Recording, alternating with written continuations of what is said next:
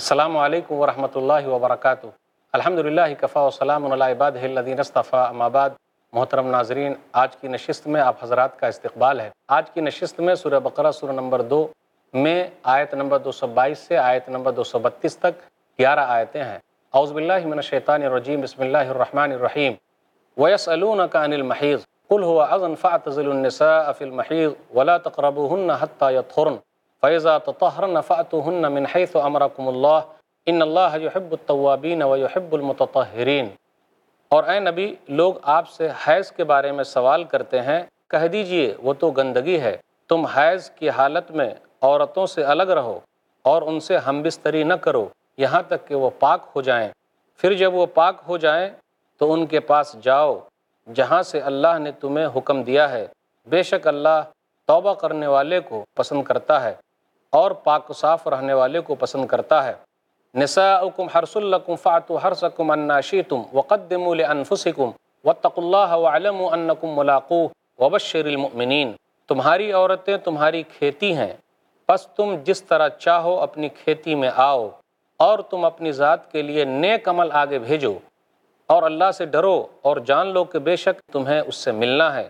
اور مومنوں کو خوشخبری سنا دیجیے۔ ولا تجعل اللہ عرضۃ لایمانکم ان تبروا وتتقوا وتصلحوا بین الناس. واللہ سمیع علیم اور تم اللہ کا نام اپنی قسموں کے لیے استعمال نہ کرو. یہ کہ تم نیکی نہیں کرو گے اور تقوا نہیں اپناؤ گے اور لوگوں کے درمیان صلح نہیں کراؤ گے اور اللہ خوب سننے والا، خوب جاننے والا ہے۔ لا يؤاخذكم الله باللغو في ايمانكم ولكن يؤاخذكم بما كسبت قلوبكم والله غفور حلیم۔ اللہ تمہاری لغو قسموں پر تمہیں نہیں پکڑے گا، لیکن وہ ان قسموں پر تمہیں ضرور پکڑے گا، جن کا تمہارے دلوں نے ارادہ کیا ہے۔ اور اللہ بہت بخشنے والا نہایت بردبار ہے۔ للذین یؤلون من نسائهم تربص اربعۃ اشہر فإن فاءوا فإن الله غفور رحیم۔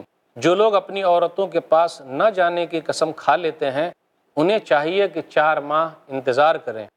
پھر اگر وہ رجوع کر لیں تو بے شک اللہ بہت بخشنے والا، بڑا رحم کرنے والا ہے۔ وَإِنْ عَزَمُ الطَّلَاقَ فَإِنَّ اللَّهَ سَمِيعٌ عَلِيمٌ۔ اور اگر انہوں نے طلاق ہی کی ٹھان لی ہے تو بے شک اللہ خوب سننے والا، خوب جاننے والا ہے۔ وَالْمُطَلَّقَاتُ يَتَرَبَّصْنَ بِأَنفُسِهِنَّ ثَلَاثَةَ قُرُوء۔ ولا يحل لهن ان يكتمن ما خلق الله في ارحامهن ان كن يؤمن بالله واليوم الاخر وبعولتهن احق بردهن في ذلك ان ارادوا اصلاحا ولهن مثل الذي عليهن بالمعروف وللرجال عليهن درجه والله عزيز حكيم اور طلاق والی عورتیں تین حیض تک اپنے آپ کو انتظار میں رکھیں اور ان کے لیے جائز نہیں کہ اللہ نے ان کے پیٹ میں جو کچھ پیدا کیا ہے اسے چھپائیں۔ اگر وہ اللہ اور آخرت کے دن پر ایمان رکھتی ہیں، تو ایسا ہرگز نہ کریں۔ اور ان کے شوہر اگر اصلاح کا ارادہ رکھتے ہیں، تو وہ زیادہ حقدار ہیں کہ انہیں اس مدت میں لوٹا لیں۔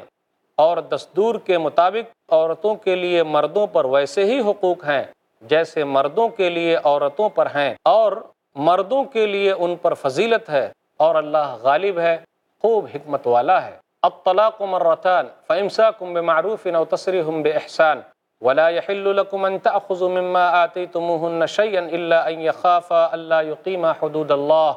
فان خفتم الا يقيما حدود الله فلا جناح عليهما فيما افتدت به. تلك حدود الله فلا تعتدوها. ومن يتعد حدود الله فاولئك هم الظالمون. طلاق یعنی طلاق رجی، دو مرتبہ ہے۔ پھر یا تو عورت کو روک لیا جائے یا بھلائی کے ساتھ چھوڑ دیا جائے اور تمہارے لیے یہ جائز نہیں کہ تم انہیں جو دے چکے ہو اس میں سے کچھ واپس لو اللہ یہ کہ دونوں کو ڈر ہو کہ وہ دونوں اللہ کی حد قائم نہ رکھ سکیں گے، تو ان دونوں پر کوئی گناہ نہیں کہ عورت فدیے میں وہ مال دے کر خلا حاصل کر لے۔ یا اللہ کی حدیں ہیں، سو تم ان سے آگے نہ بڑھو۔ اور جو لوگ اللہ کی حدوں سے تجاوز کرتے ہیں وہی ظالم ہے فَإِن طَلَّقَهَا فَلَا تَحِلُّ لَهُ مِن بَعْدُ حَتَّى تَنْكِحَ زَوْجًا غَيْرَهُ۔ فَإِن طَلَّقَهَا فَلَا جُنَاحَ عَلَيْهِمَا أَن يَتَرَاجَعَا إِن ظَنَّا أَن يُقِيمَا حُدُودَ اللَّهِ وَتِلْكَ حُدُودُ اللَّهِ يُبَيِّنُهَا لِقَوْمٍ يَعْلَمُونَ۔ پھر اگر وہ شوہر اسے تیسری طلاق دے دے، تو اس کے بعد وہ عورت اس کے لیے حلال نہیں۔ یہاں تک کہ وہ اس کے علاوہ کسی اور شوہر سے نکاح کرے۔ پھر اگر وہ بھی اسے طلاق دے دے، تو ان دونوں یعنی سابقہ میاں بیوی پر کوئی گناہ نہیں کہ آپس میں رجوع کر لیں۔ اگر وہ دونوں خیال کریں کہ اللہ کی حدیں قائم رکھ سکیں گے اور یہ اللہ کی حدیں ہیں اور انہیں ان لوگوں کے لیے بیان کرتا ہے جو علم رکھتے ہیں۔ وَإِذَا تَلَّقْتُمُ النِّسَاءَ فَبَلَغْنَ أَجَلَهُنْ فَأَمْسِكُوهُنَّ بِمَعْرُوفٍ أَوْ سَرِّحُوهُنَّ بِمَعْرُوفٍ وَلَا تُمْسِكُوهُنَّ ذِرَارًا لِتَعْتَدُوا وَمَنْ يَفْعَلْ ذَلِكَ فَقَدْ ظَلَمَ نَفْسَهُ وَلَا تَتَّخِذُوا آيَاتِ اللَّهِ هُزُوًا وَاذْكُرُوا نِعْمَةَ اللَّهِ عَلَيْكُمْ وَمَا أَنزَلَ عَلَيْكُمْ مِنَ الْكِتَابِ وَالْحِكْمَةِ يَعِظُكُمْ بِهِ وَاتَّقُوا اللَّهَ وَاعْلَمُوا أَنَّ اللَّهَ بِكُلِّ شَيْءٍ عَلِيمٌ اور جب تم عورتوں کو پہلی یا دوسری بار طلاق دو، پھر ان کی عدت پوری ہونے کو ہو، تو انہیں دستور کے مطابق روک لو یا انہیں دستور کے مطابق چھوڑ دو اور انہیں ستانے کے لیے نہ روکو تاکہ تم زیادتی کرو۔ اور جو کوئی ایسا کرے گا وہ یقیناً اپنے آپ ہی پر ظلم کرے گا اور تم اللہ کی آیتوں کو ہنسی مذاق نہ بناؤ اور اللہ کی طرف سے تم پر جو انعام ہوا ہے، اسے یاد کرو اور اس کتاب اور حکمت کو بھی یاد کرو جو اس نے تم پر نازل کی ہے۔ وہ تمہیں اس کی نصیحت کرتا ہے اور تم اللہ تعالیٰ سے ڈرو اور جان لو کہ بے شک اللہ ہر چیز کو خوب جاننے والا ہے۔ وَإِذَا طَلَّقْتُمُ النِّسَاءَ فَبَلَغْنَ أَجَلَهُنْ فلا فَلَا تَعْزُلُوهُنَّ أَن يَنكِحْنَ أَزْوَاجَهُنَّ إِذَا تَرَاضُوا بَيْنَهُم بِالْمَعْرُوفِ. ذَلِكَ يُعْظُ بِهِ مَنْ كَانَ مِنْكُمْ يُؤْمِنُ بِاللَّهِ وَالْيَوْمِ الْآخِرِ. ذَلِكُمْ أَزْكَى لَكُمْ وَأَطْهَرُ. وَاللَّهُ يَعْلَمُ وَأَنْتُمْ لَا تَعْلَمُونَ. اور جب تم عورتوں کو طلاق دو، پھر وہ اپنی عدت کو پہنچ جائیں، تو تم انہیں اس بات سے مت روکو کہ وہ اپنے پہلے شوہروں سے نکاح کریں، جبکہ وہ دستور کے مطابق آپس میں راضی ہوں۔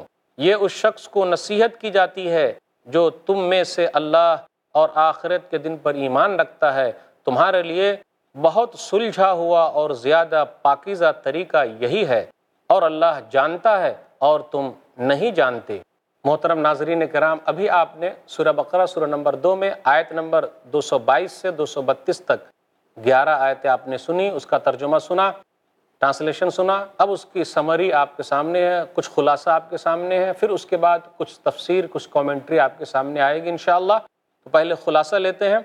جو آیتیں آپ کے سامنے پڑھی گئی ہے، اس کا نچوڑ کیا ہے، خلاصہ کیا ہے، سمری کیا ہے؟ بتایا گیا، لوگ آپ سے حیض کے بارے میں پوچھتے ہیں۔ تو کہا گیا، حیض کی حالت میں عورتوں سے الگ تھلگ رہنا ہے۔ پھر اسی طرح یہ بھی ذکر ہے، ذیلی مسائل بیان کیے گئے کہ کوئی بھی آدمی اپنی عورت کا پچھلا حصہ استعمال نہیں کر سکتا یعنی دبر کا استعمال نہیں کر سکتا، وہ حرام ہے۔ اسی طرح کسی بچے کا استعمال نہیں کر سکتا، کسی مرد کا استعمال نہیں کر سکتا۔ اسلام کے اندر وہ حرام ہے۔ لوت علیہ السلاۃ والسلام کی قوم اسی میں ماری گئی ہے۔ پھر اسی طرح نیک اعمال کو چھوڑ دینے کے لیے اگر کوئی آدمی قسم کھاتا ہے کہ وہ نیک عمل نہیں کرے گا، تو منع کیا جا رہا ہے کہ بھئی ایسے قسم مت کھایا کرو۔ پھر اسی طرح ایلا کرے کوئی، ایلا اس کو کہتے ہیں کہ اپنی عورت سے نہ ملنے کی قسم کھا لے تو چار مہینہ چل سکتا ہے، لیکن اس کے بعد اس کو ملنا پڑے گا، یا پھر وہ طلاق دے، یا پھر اس کو اپنے پاس رکھے۔ پھر اسی طرح آگے ذکر ہے، حیض اور توہر کے بارے میں آیا۔ شوہر رجوع کا زیادہ حقدار ہے، طلاق رجی ہو تو۔ پھر اسی طرح میاں بیوی کے حقوق کیا ہے؟ حقوق زوجین، اس کا تذکرہ ہوا۔ مردوں کو اللہ تعالیٰ نے جو فضیلت دی ہے، عورتوں پر وہ کمانے کی وجہ سے ہے، کیونکہ وہ باہر کا کام کرتا ہے۔ تو درجہ تو حاصل ہے، لیکن اس لیے نہیں کہ وہ سپر ہے سپر مین ہے، نہیں۔ وہ اس لیے کہ بھئی وہ کام کرتا ہے، محنت کر رہا ہے۔ اگر کوئی یہ کہے کہ میں عورت سے اچھا ہوں تو یہ غلط ہے۔ اللہ تعالیٰ نے عورتوں کو بھی اچھا بنایا، جنت کے اندر ان کی بھی تعداد زیادہ ہوگی۔ اس لیے کوئی غلط فہمی میں نہ رہے اور اپنے دماغ میں یہ نہ رکھے کہ میں عورت سے اچھا ہوں۔ جی غلط ہے یہ۔ پھر اسی طرح یہ ذکر ہے خلا کے بارے میں آیا کہ جس طریقے سے طلاق ہے اور مرد کو یہ حق حاصل ہے اور یہ انتہائی مجبوری میں ہے۔ بھائی، آپ دونوں میں نباہ ہو ہی نہیں سکتا۔ ہر دن لڑائی جھگڑا کر رہے ہیں۔ تو اسلام نے کچھ تو حل نکالا نا کہ بھائی، چلو، الگ تھلگ ہو جاؤ۔ تو جس طرح مرد کو یہ حق حاصل ہے کہ وہ طلاق دے کر الگ ہو جائے، عورت کو بھی یہ حق حاصل ہے کہ ایسا کوئی جابر، ظالم، ظلم کرنے والا، بیکار ٹائپ کا کوئی شوہر مل گیا اور اس کو پریشان کر رہا ہے، دن رات مار رہا ہے، گالی دے رہا ہے، برا بلا کہہ رہا ہے، احترام نہیں کر رہا ہے، ان کے حقوق ادا نہیں کر رہا ہے۔ عورت بھی خلا لے سکتی ہے۔ یعنی جو مہر اس نے دیا تھا، اس کے پیسے واپس کر دے، وہ الگ ہو جائے، اس کا تذکرہ ہوا۔ پھر اسی طرح یہ کہا گیا، تیسری طلاق کے بعد اب رجوع نہیں۔ پھر وہ عورت نکاح کرے گی الگ، پھر اس کے ساتھ بھی طلاق ہو جائے گی۔ تو اب پہلے شوہر کے ساتھ اس کا نکاح ہو سکتا ہے۔ تو ناظرین کرام جو آیتیں آپ کے سامنے پڑھی گئی ہے، مختصر سی تفسیر آپ کے سامنے ہے پہلے آیت نمبر دو سو بائیس وہ سلون کان المحیض وہ لوگ آپ سے حیض کے بارے میں پوچھتے ہیں۔ دیکھیے سوالات ہوتے آ رہے ہیں۔ نبی صلی اللہ علیہ وسلم سے پوچھا جا رہا ہے۔ یہ مدنی سورہ ہے۔ مدنی صورتوں میں اکثر آپ کو یہ ملے گا کہ مسائل بیان کیے جا رہے ہیں، احکام بیان کیے جا رہے ہیں۔ اور اللہ تعالیٰ مسائل کو بیان کرتا ہے، کھول کھول کر بیان کرتا ہے۔ وہ لوگ آپ سے حیض کے بارے میں پوچھتے ہیں۔ حیض کیا ہے؟ بالغ ہونے کے بعد عورت کو جو مہینے میں خون آتا ہے، اس کو حیض کہتے ہیں۔ کچھ عورتوں کو ویسے بھی خون آتا ہے یعنی زیادہ خون آتا ہے۔ جو عادت ہوتی ہے، اس کے علاوہ بھی خون آتا ہے۔ اس کو استحاظہ کہا جاتا ہے۔ وہ بیماری ہے حیض کے ایام میں عورت کے لیے اللہ تعالیٰ نے نماز کو معاف کر دیا ہے۔ وہ نماز نہیں پڑھے گی۔ اور حیض کی حالت میں روزہ بھی نہیں رکھنا ہے۔ لیکن بعد میں روزہ پورا کرنا ہوگا۔ کیونکہ روزہ سال میں ایک ہی مرتبہ آتا ہے اور نماز تو پانچ وقت ادا کرنی ہے نا۔ اگر یہ نہیں ہٹایا جاتا تو بڑی سختی ہو جاتی۔ تو اللہ تعالیٰ نے بڑی آسانی فرمائی ہے۔ اور روزہ بعد میں وہ پورا کر لے۔ جو روزے ان کے چھوٹ گئے ہیں۔ لیکن نماز ان کو پورا نہیں کرنا ہے۔ کچھ بہنیں ایسی بھی آپ کو مل جائیں گے اور دیہات کی پرانی کچھ عورتیں اس حالت میں بھی وہ روزہ رکھے ہوئے ہیں۔ بھائی، آپ کا روزہ ہوگا ہی نہیں۔ تو کہے کو آپ بھوکے ہیں۔ عورت اگر اس مرحلے سے گزر رہی ہے، وہ شادی شدہ ہے، تو ایسا نہیں کہ مرد اس کو بالکل چھوڑے رہے۔ بھائی، اس کے ساتھ بوسو کنار کر سکتا ہے، رہ سکتا ہے، سو سکتا ہے۔ اس میں بس ہم بستری نہیں کرنا ہے رات میں ملنا نہیں۔ یہودیوں کے حالات یہ تھے کہ وہ لوگ اپنی عورتوں سے الگ تھلگ ہو جاتے تھے۔ بھائی، ان کو خون آنا شروع ہو گیا۔ اب ان بیچاروں کو بھی خون آنا شروع ہو جاتا تھا، وہ الگ تھلگ ہو جاتے تھے، ملتے نہیں تھے۔ جی نہیں، اسلام نے ایسے کرنے سے منع کیا ہے کہ جی نہیں، ملنا ہے، ان کے ساتھ رہنا ہے۔ لیکن ہم بستری نہیں کرنی ہے، کھانا پینا ہے، ایک ساتھ رہنا ہے، لیکن ہم بستری سے الگ رہنا ہے۔ قریب نہ جانے کا مطلب کیا ہے؟ صرف جمع سے منع کیا ہے کہ جی جمع نہیں کرنا ہے، ہم بستر نہیں ہونا ہے۔ ایک حدیث کے اندر آیا، صحیح مسلم کتاب الحیض، کتاب نمبر تین، حدیث نمبر تین سو دو، نبی صلی اللہ علیہ وسلم نے فرما اسناؤ کل شعین الا نکاح کہ حیض کے دنوں میں تم اپنی عورتوں سے ہر چیز کرو لیکن نکاح نہیں۔ نکاح کا مطلب جمع نہیں کر سکتے۔ پھر اسی طرح جب وہ پاک و صاف ہو جائے تو تم اپنی عورتوں کے پاس آؤ۔ اللہ نے کہا نسا حکم حرس القم فاتو ہر سکم اناشے تم تمہاری عورتیں جو ہے وہ تمہاری کھیتیاں ہیں۔ جب وہ پاک و صاف ہو جائے تو تم اپنی کھیتی کے پاس آؤ۔ جہاں سے چاہو۔ جہاں سے چاہو کا مطلب کیا ہے بھائی؟ جہاں سے چاہو کا مطلب ہم پیچھے سے بھی آئیں تو آگے ہی آنا ہے، آگے سے بھی آئیں تو آگے ہی آنا ہے۔ اگلا حصہ ہی استعمال کر سکتے، پچھلا حصہ استعمال نہیں کر سکتے۔ جو لوگ ایسا کر رہے ہیں، وہ لوت علیہ صلاۃ والسلام کی قوم کی طرح کر رہے ہیں اور اللہ تعالیٰ نے لوت علیہ صلاۃ والسلام کی قوم کو برباد کیا ہے، ان کو بھی برباد کرے گا۔ بڑے افسوس کے ساتھ کہنا پڑتا ہے، آج دنیا میں کچھ ملکوں میں تو یہ قانون بن گیا کہ مرد مرد سے خواہش پوری کرے۔ ناظرین کرام، ایسی برائی اگر ہمارے اندر ہے، تو لوت علیہ السلاۃ والسلام کی قوم کی طرح اللہ ہم لوگوں کو برباد کر دے گا۔ اس لیے بچنا ہے۔ اور بیوی کا بھی پچھلا حصہ استعمال نہیں کرنا، اسے بچنا ہے۔ آئیے ایک حدیث سن لیتے ہیں۔ سننابی داؤد، کتاب النکاح، کتاب نمبر بارہ، حدیث نمبر دو ہزار ایک سو باسٹھ۔ ملعون من اتا امراۃ فی دبورہا اس پر لانت کی گئی ہے جو اپنی بیوی کے پچھلے حصے میں آتا ہے۔ تو لانتان ہے، یہ غلط کام ہے، یہ غیر فطری عمل ہے، اس لیے اس سے بچنا ہے۔ آپ آگے حصے میں آئیے، چاہے چت لٹا کر آئیں یا پٹ لٹا کر آئیں، پیٹھ کے بل آئیں، کیسے بھی آئیں۔ لیکن اگلے حصے میں آنے کے بارے میں کہا جا رہا ہے۔ پھر اس کے بعد یہ ذکر ہے قسم کے بارے میں۔ لوگ یوں ہی قسم کھا لیتے ہیں۔ واللہ، اللہ کی قسم۔ بھائی، قسم آپ ویسے ہی کھا لیتے تو کوئی مسئلہ نہیں۔ واللہ، چلے گا بھائی، اللہ کی قسم کھا لیا۔ کچھ لوگوں کا یہ رہتا کہ وہ بہت جلدی غصے میں آ جاتے اور سختی والا قسم کھا لیا کہ نہیں، میں یہ کام نہیں کروں گا یا میں یہ کام کروں گا، جا تج سے نہیں ملوں گا، وغیرہ وغیرہ۔ تو بھائی، قسم کھانا ہے تو صرف اللہ کی قسم کھانی ہے۔ اگر ضرورت پڑے تو قسم کھانا ہے۔ ضرورت نہیں ہے تو مت کھائیے۔ کیوں کھا رہے ہیں آپ؟ لیکن آپ دیکھیے لوگوں کو کیسی قسم کھاتے میری ماں کی قسم، میرے باپ کی قسم، میرے بچے کی قسم، میری بیوی کی قسم۔ اے، دیکھ دیکھ، میرے کنٹھ کی قسم۔ ارے بھائی کہے کو ایسی قسم کھا رہے ہیں؟ بھائی، صرف اللہ کی قسم کھانا ہے۔ اگر ضرورت ہوگی تو، ورنہ کسی کی قسم نہیں کھانی ہے۔ اور اللہ تعالیٰ اپنی مخلوق میں سے جس کی بھی چاہے قسم کھا لے۔ جیسے اللہ نے سورج کی قسم کھا لی، چاند کی قسم کھا لی اللہ جس کی چاہے قسم کھا سکتا ہے، لیکن ہم اور آپ صرف اللہ کی قسم کھائیں۔ لیکن کب کھائیں؟ جب ضرورت پڑ جائے۔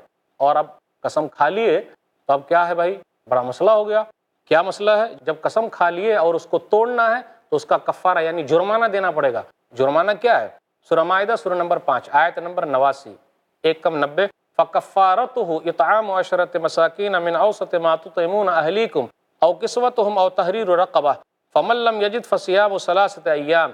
کفار تو ایمان ذالک کفارت ایمانکم اذا حلفتم واحفظوا ایمانکم۔ تو جن لوگوں نے قسم کھا لی ہے، سختی والی قسم، اور اس کو توڑنا ہے، تو دس مسکین کو کھانا کھلانا ہے، یا ان کو کپڑے پہنانا ہے، یا ایک غلام کو آزاد کرنا ہے۔ اور اگر یہ سب نہیں کر سکتے، تو تین دن کے روزے رکھنا ہے۔ پھر اسی طرح کہا گیا، یہ تمہارے قسموں کا کفارہ ہے، جب تم قسم کھا لو، اور اپنے قسموں کی حفاظت کرو۔ اس لیے زیادہ قسم مت کھائیے، بڑا نقصان ہے اس کا۔ پھر اس کے بعد یہ ذکر ہو رہا ہے ایلا کے بارے میں للذین یؤلون من نسائہم تربص اربعۃ اشہر آیت نمبر دو سو چھبیس، دو سو ستائیس پڑھیے۔ ایلا کہتے ہیں کہ لوگ یہ قسم کھا لیں، اپنی بیوی سے نہیں ملیں گے۔ تو اگر ایسی قسم کھا لیے تو چل سکتا ہے۔ کتنا مہینہ چلے گا؟ چار مہینہ۔ لیکن چار مہینہ کے بعد آپ کو اپنی بیوی سے ملنا ہی پڑے گا۔ اس کے ساتھ سونا ہی پڑے گا، اس کے ساتھ رہنا ہی پڑے گا۔ چار مہینے کے بعد پھر آپ کو فیصلہ کرنا ہے۔ چاہے اس کو رکھنا ہے یا پھر اس کو چھوڑ دینا ہے، لیکن یوں ہی اس کو لٹکا کر کے نہیں رکھ سکتے، منع کیا جا رہا ہے۔ آگے آیت ہے، آیت نمبر دو سو اٹھائیس۔ والمطلقات یتربصن بانفسہن ثلاثۃ قروء۔ کہ متعلقہ عورتوں کی عدت کا ذکر ہے، جن عورتوں کو طلاق دیا جا رہا ہے، اس کی عدت کیا ہوگی؟ کئی شکلیں بنتی ہے اگر عورت کو طلاق دے دیا کسی آدمی نے، اگر اس کے پیٹ میں بچہ ہے، تو جیسے بچہ پیدا ہو گیا، وہی اس کی عدت وہاں ختم ہو گئی۔ عدت ختم ہو گئی۔ بچہ پیدا ہونے تک عدت، جیسے بچہ پیدا ہوا، اب اس عورت کو اختیار حاصل ہے کہ پاکی صفائی کے بعد وہ جہاں بھی چاہے نکاح کر لے۔ پھر اسی طرح ایک عورت کو طلاق دیا گیا اور اس کے ساتھ ملے نہیں۔ کیا ہوا؟ دخول سے پہلے پہلے طلاق دے دی تو اس کی کوئی عدت نہیں ہے۔ پھر اسی طرح ایک عورت ایسی ہے جو آئسہ ہے۔ آئسہ مطلب آئسہ یہ حمزہ والا آئسہ یعنی مایوس ہو گئی ہے کہ اب ان کو حیض نہیں آئے گا۔ تو ان کی عدت جو ہوگی وہ تین مہینے تک ہے۔ اب یہاں بھی بیان کیا جا رہا ہے ان عورتوں کے بارے میں جن کے ساتھ دخول ہوا ہے، شوہر رہے ہیں۔ تو اب ان کے طلاق کی عدت کیا ہوگی؟ کیا صورت بن سکتی ہے؟ تو اسی کا ذکر ہو رہا ہے۔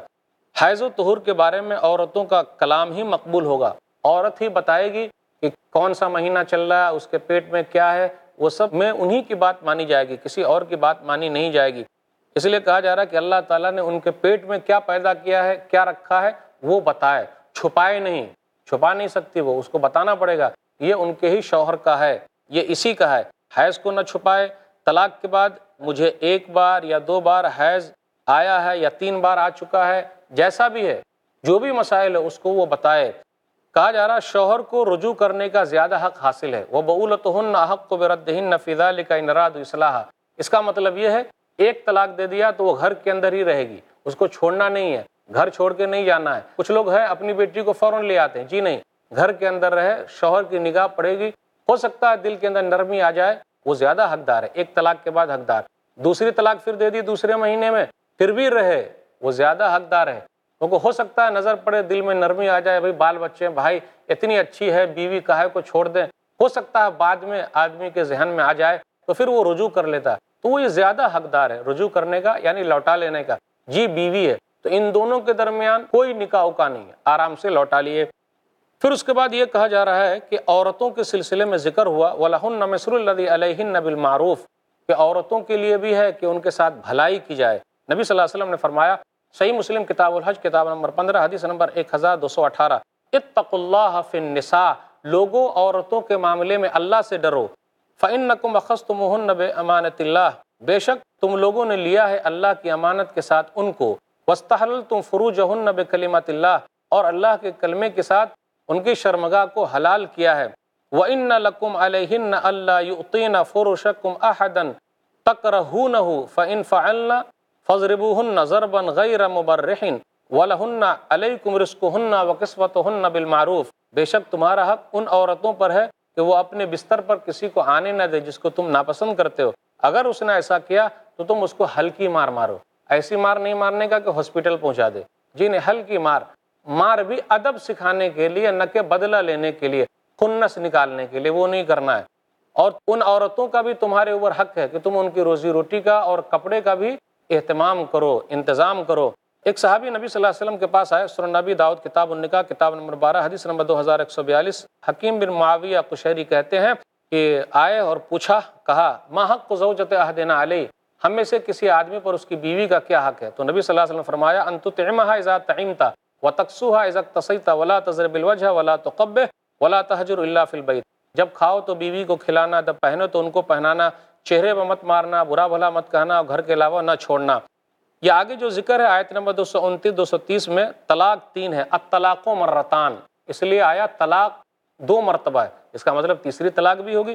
یہ نہیں آیا تطلیقتان یعنی دو مرتبہ طلاق، بلکہ مرہ آیا۔ ایک مرتبہ، دو مرتبہ، تین مرتبہ۔ تو اس لیے یہ نہیں آیا تلقتان دو طلاقیں نہیں کہا گیا، بلکہ کہا گیا مرتان۔